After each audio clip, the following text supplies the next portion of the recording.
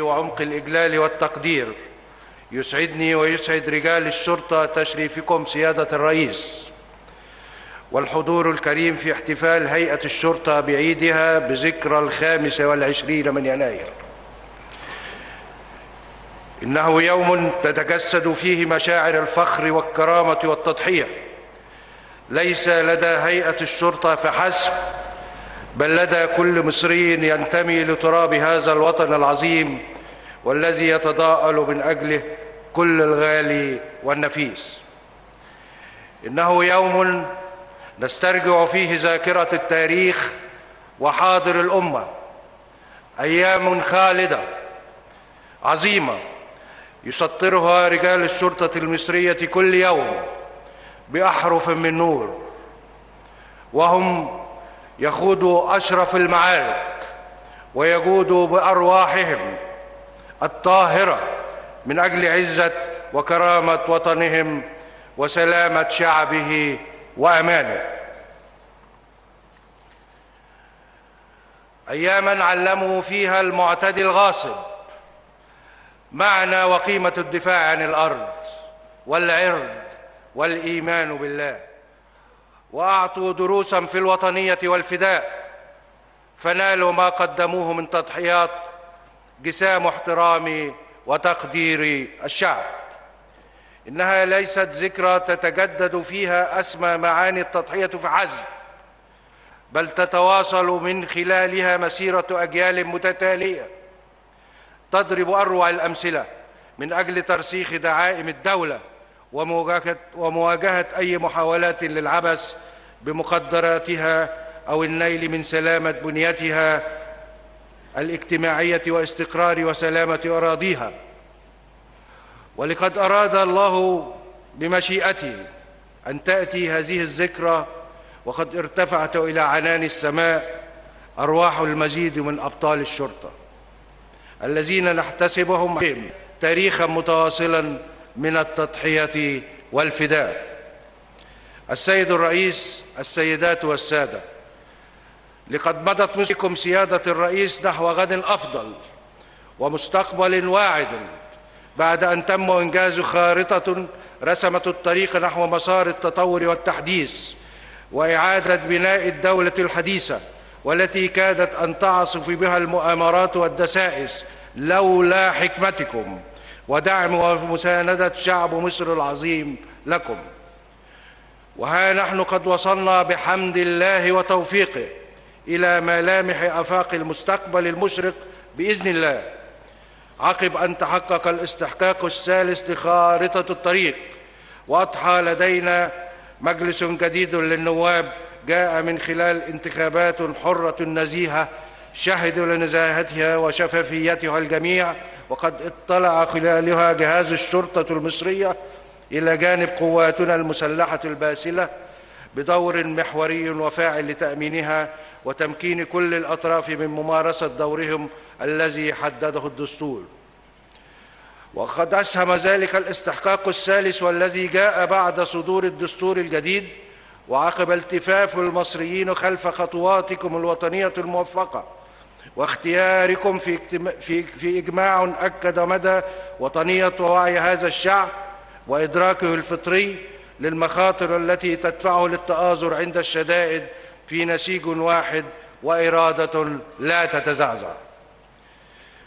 نؤكد أن هذه الخطوات جميعها قد ساهمت في دعم البناء الديمقراطي لركائز المؤسسات الدستورية للوطن وأكدت بقوة مدنية الدولة ورسخت دعائم ومقومات قدراتنا في كافة المجالات.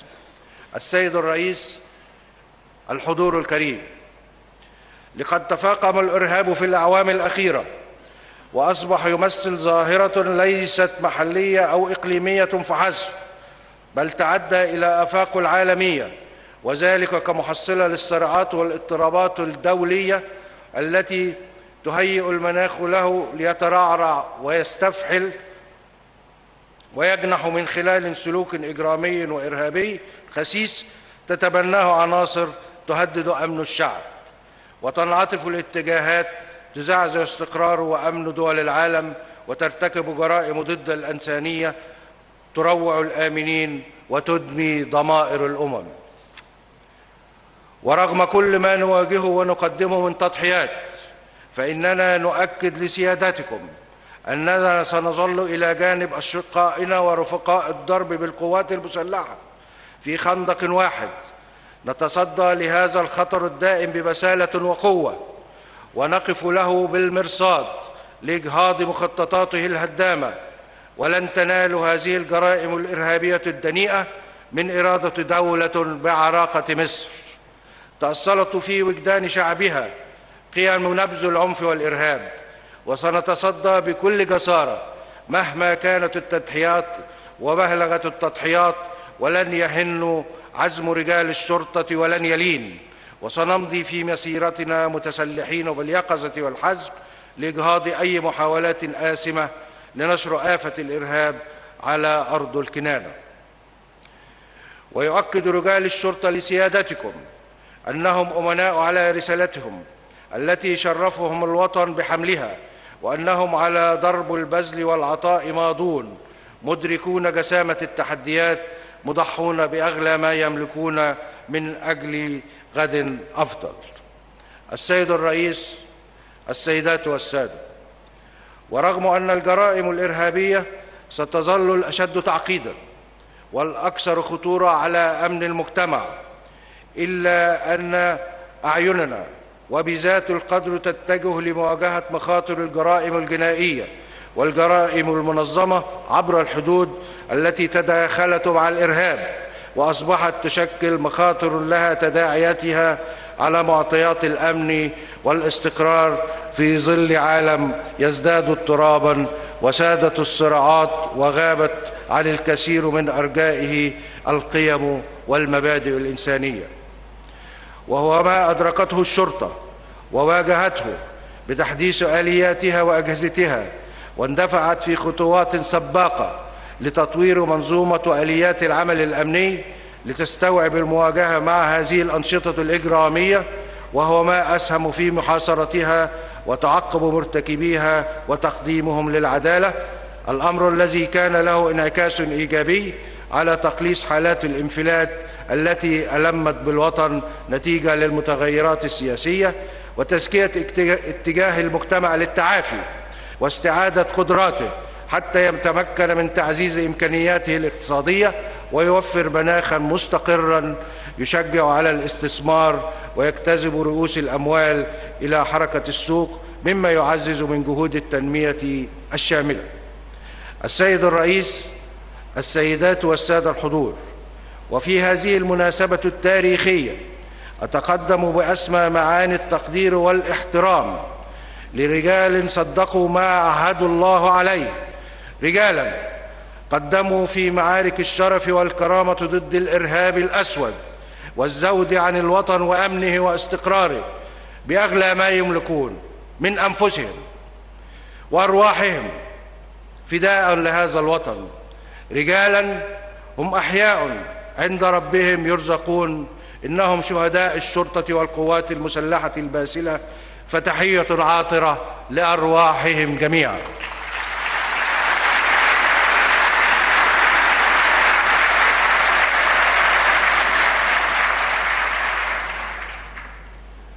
وستظل ابدا تضحياتهم ضياء هاديا لزملائهم يحزون حزوهم لا يهبون الموت.